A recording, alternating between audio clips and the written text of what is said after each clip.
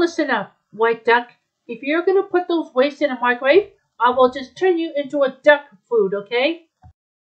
So I promise I won't put waste in the microwave. Right, that's settled then. Well, let's get to break time. It's spring break right now. You know, I believe Nevertima Osby is never is not going to kindergarten because of spring break, isn't it, Sora? Boo boo. Yeah, well, it's spring break. I I guess we can just um go for a food break and like um like other spring break foods, unlike any other foods that we can take too.